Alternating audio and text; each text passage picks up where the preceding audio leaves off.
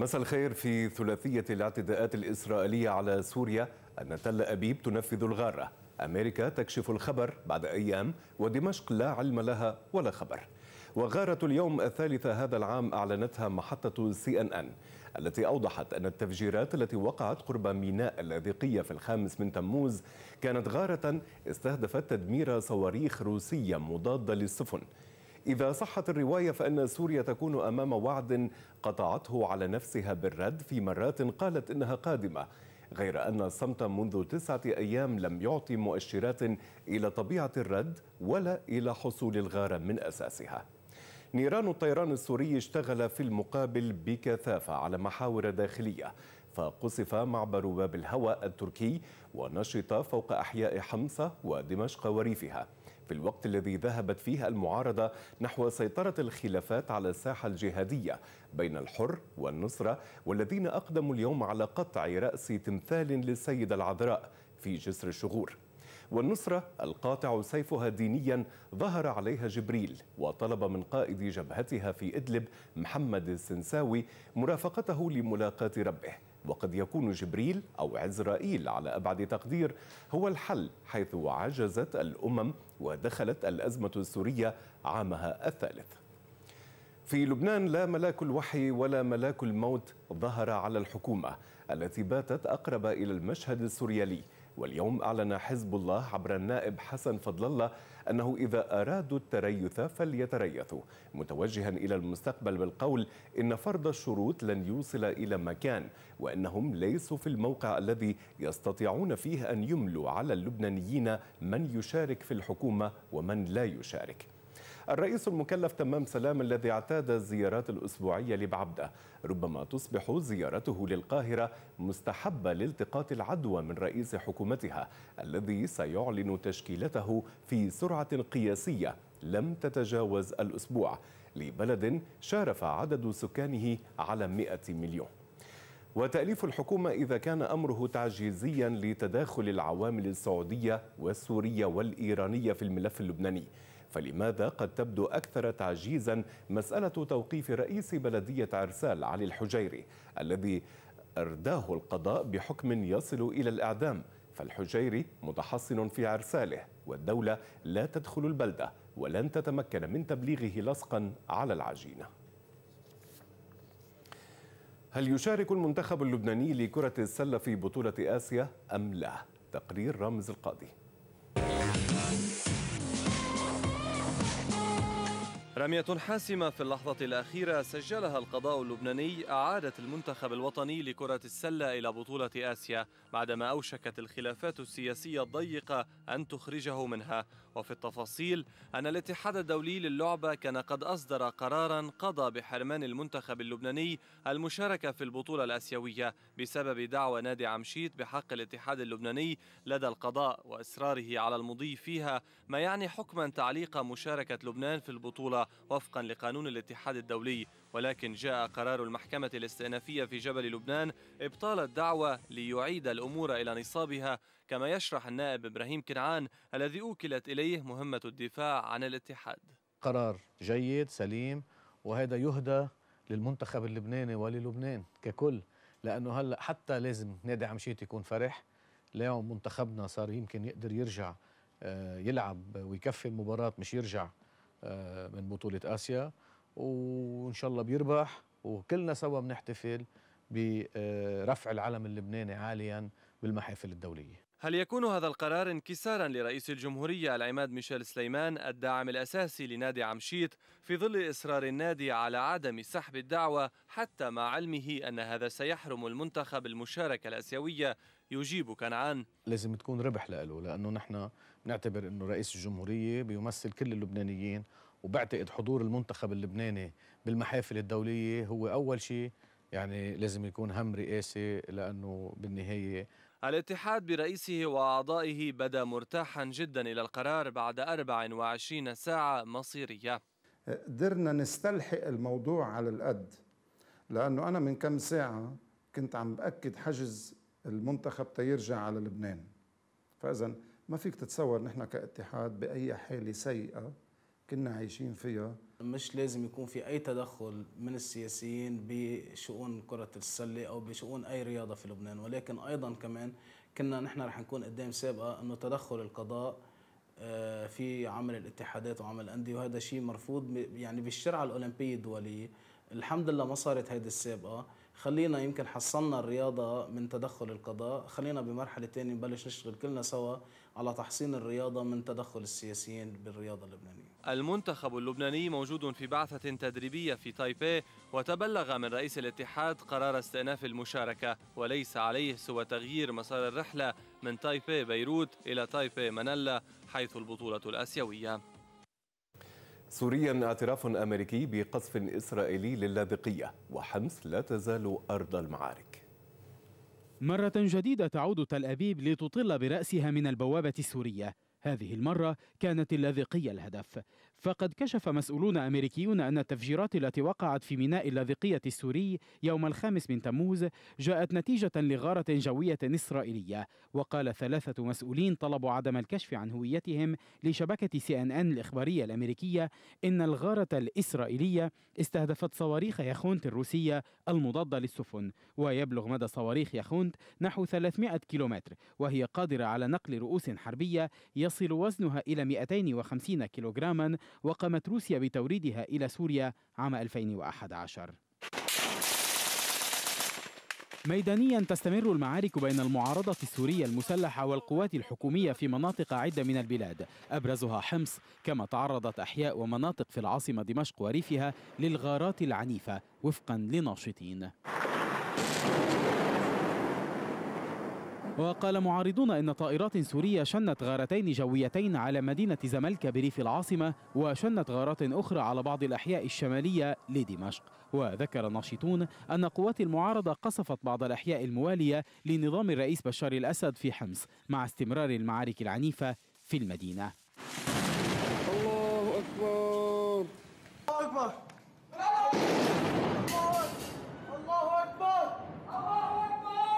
الله اكبر وفي حمص أصيبت قلعة الحصن الأثرية في المحافظة وسط سوريا والمدرجة على لائحة منظمة اليونسكو للتراث العالمي بأضرار بعد استهدافها بقصف من الطيران الحربي السوري وفق ما أظهرت أشرطة فيديو بثها ناشطون معارضون.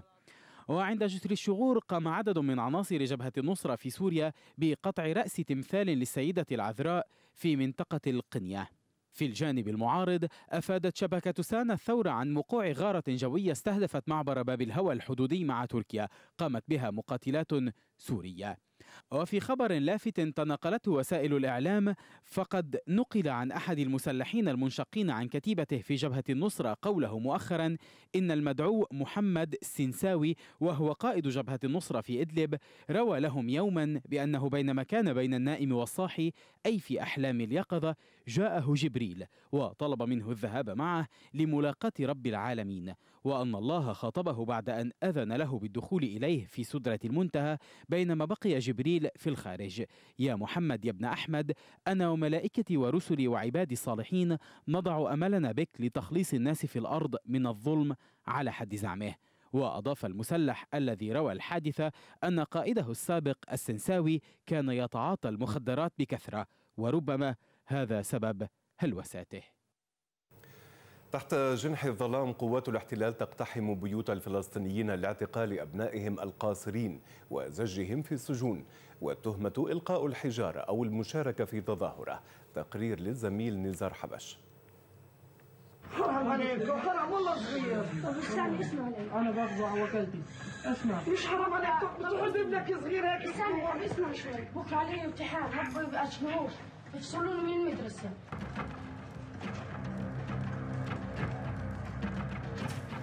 ساعة الليل هي الأكثر رعبا على أطفال فلسطين. بكامل عتادهم العسكري يقتحم جنود العدو الصهيوني منازل المواطنين لاعتقال أطفالهم.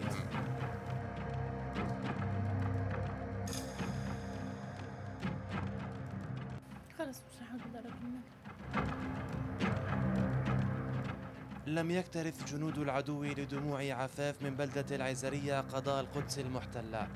فقاموا باعتقال فلذة كبدها محمد الذي لم يتجاوز أربعة عشر عاما بتهم إلقاء الحجارة والزجاجات الحارقة على المستوطنين.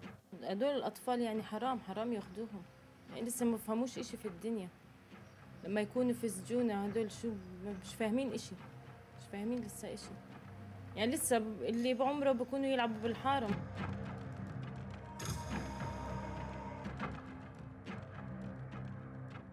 من القدس المحتلة إلى مخيم الجلزوم بمحافظة رام الله.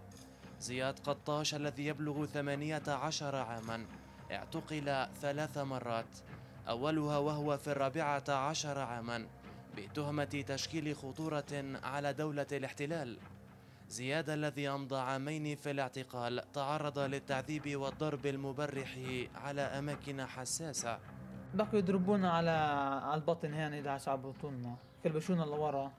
هيك يحطونا كلبشونا لورا. يحطونا على ظهورنا. يقعدوا يدعسوا على بطوننا وعلى محاشمنا وعلى وعلى خواصرنا وعروسنا بالدبسات. بقوا يحطوا صفين في دارة السجون. يحطوا صف من هنا وصف من هنا ويقعدوا يضربوا على الراس. وإحنا مكلبشين. على الراس. على الراس من هنا أنا عندي ثمان أولاد. اعتقلوا اعتقلوا السبعة منهم. آخر شيء اعتقلوا زياد وعمره 14 سنة. حطوه في الدورية جبشوره مو هي الزت زتوه وبدوا بالكفوا فيه هذا من شكة وهذا من شكة وعلمك الواحد شو يعني الجندي بيبكى. المحررون من الأطفال المعتقلين يؤكدون تعرضهم للإهمال الطبي الكامل والحرمان من التعليم والطعام وقضاء الحاجة إضافة لتحررهم بأمراض جسدية ونفسية. لما كنا مرض بس يجي على بطنك بوجع جرقت توجع أعطيك حبة أكمول يعني الأكمول هي معروف لوجع الراس. بيطلعوا ويعني مد... م... شو بدي أقول لك؟ عصبيين بشكل. الله بيعلم شو بعطوهم الله بيعلم شو بشربوهم في السجن. يعني هيئته من يوم ما طلع له سنتين طالع يعني بجوز 10 أيام اللي اشتغلهن فيش 10 أيام. هي هي مرميين في الشوارع. ووفقا لإحصائيات الحركة العالمية للدفاع عن الأطفال يقبع داخل معتقلات العدو لغاية إعداد هذا التقرير.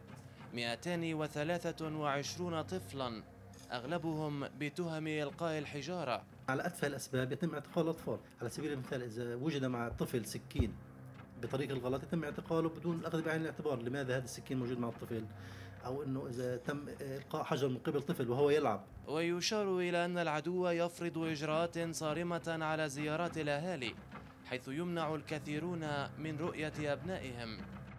طفولة بين أنياب المحتل فقد كشفت إحصائيات منظمة اليونيسف أن عدد الأطفال والفتية الفلسطينيين الذين اعتقلهم العدو الصهيوني بلغ نحو سبعة ألاف خلال العشر سنوات الأخيرة. كل هذا على مرأى ومسمع العالم أجمع دون أن يحرك ساكنا لإنقاذ طفولتهم. نزار حبش من أمام معتقل عفر الصهيوني قناة الجديد. النائب حسن فضل الله يشدد على وجوب تأليف حكومة وطنية تجمع كل الأطراف وفق أحجامهم النيابية ويرى أن تيار المستقبل ليس في موقع من يفرض الشروط بشأن مشاركة حزب الله في الحكومة. دعا النائب حسن فضل الله إلى عدم استباق الأمور وانتظار التحقيقات التي تجريها الدولة بخصوص متفجرة بئر العبد للتعرف على الجهة المرتكبة للاعتداء لافتا إلى أن كل الاحتمالات واردة فيما يتعلق بالجهة المنفذة وأن مثل هذه الاعتداءات الآثمة لا يمكن لها أن تغير في خياراتنا وتوجهاتنا. في فريق بالبلد وهو تيار المستقبل لا يزال يصر بين الحين والآخر على القول أنه يريد لا يريد لحزب الله أن يشارك في الحكومة. ونحن نقول له أنت لست في موقع من يفرض الشروط ولست في الوضعية التي تستطيع فيها أن تملي على اللبنانيين من يشارك ومن لا يشارك. حزب الله هو الذي يقرر كيف يشارك وبأي طريقة يشارك في هذه الحكومة. نحن عندما نقول نريد حكومة عندما نقول نريد حكومة وحدة وطنية يعني أن كل الأفرقاء يفترض أن يكونوا ممثلين حسب أحجامهم النيابية. ورأى فضل الله أن التأخير والتعطيل لا يوصلان إلى أي مكان ويبقيان البلد في حال فراغ على مستوى القرار في السلطة التنفيذية فيما البلد يحتاج إلى حكومة تدير الوضع الأمني والاقتصادي والاجتماعي. قرار اتهامي وطلب عقوبة الإعدام لرئيس بلدية عرسال في قضية قتل ضباط في الجيش. ماذا يقول الحجيري للجديد وماذا يقول القانون في القضية؟ هذه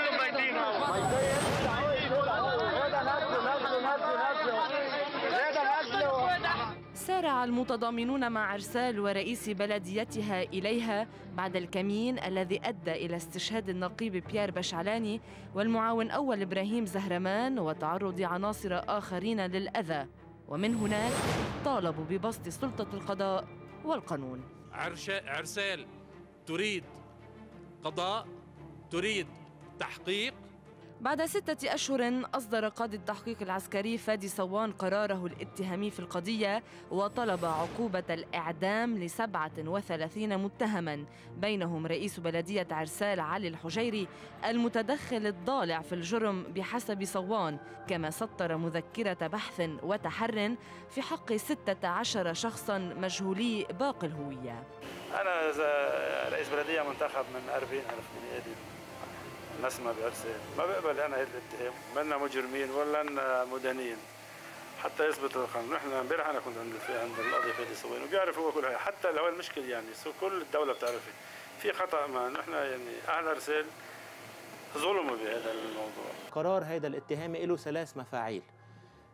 اولا هناك مذكرة إلقاء قبض صدرت مع قرار الاتهامي حتما. اليوم في واجب على القوى الأمنية إلقاء القبض على رئيس البلدية عرسال السيد الحجيري والمجموعة الأخرى حيثما وجدوا على الأراضي اللبنانية.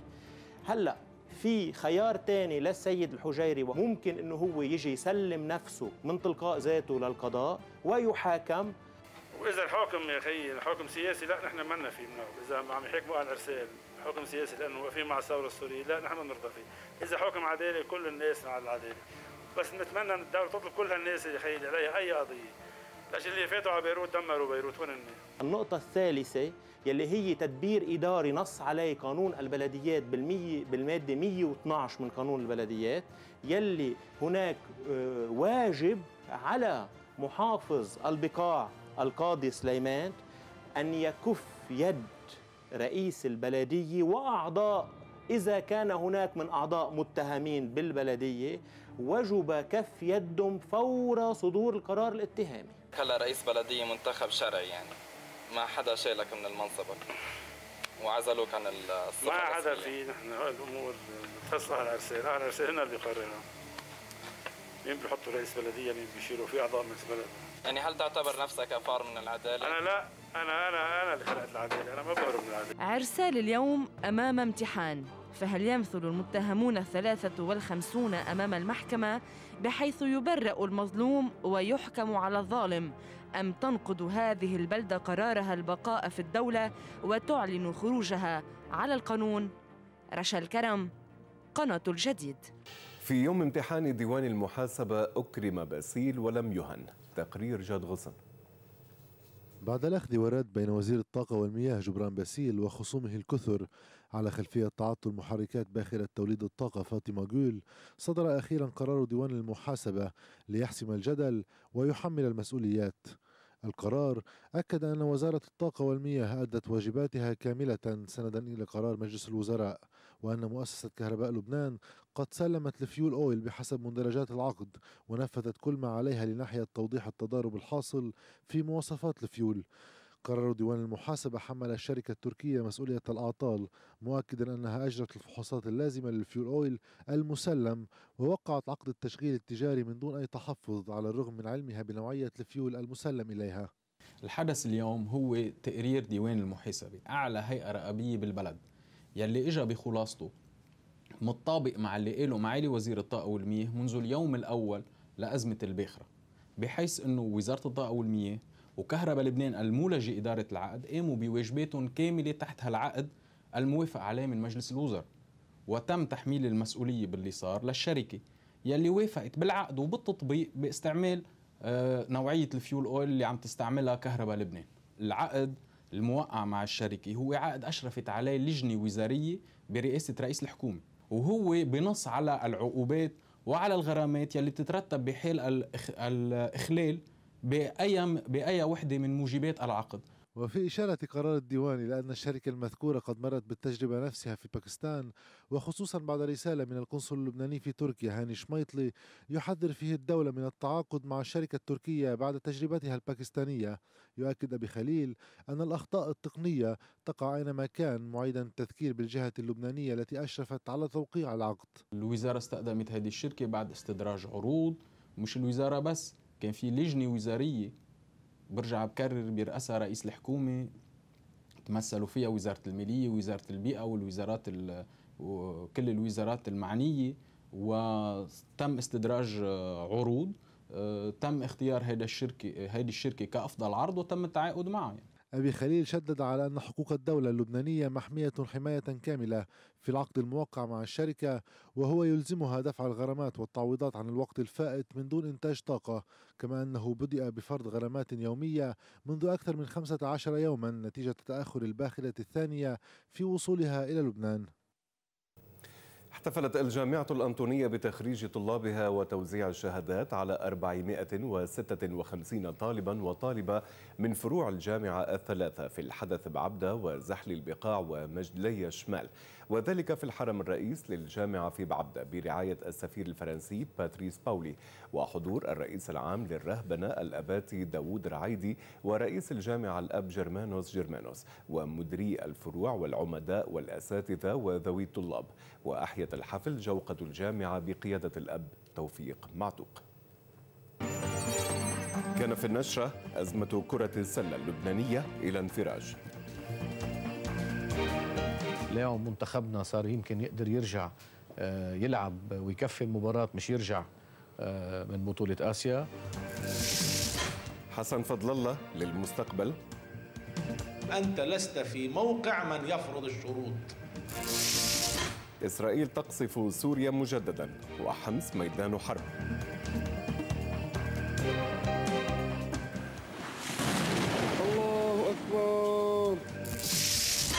فلسطين أطفال سجناء بتهمة رمي الحجارة.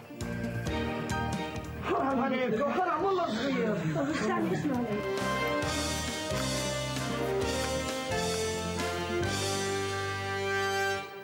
دمتم بخير. إلى اللقاء.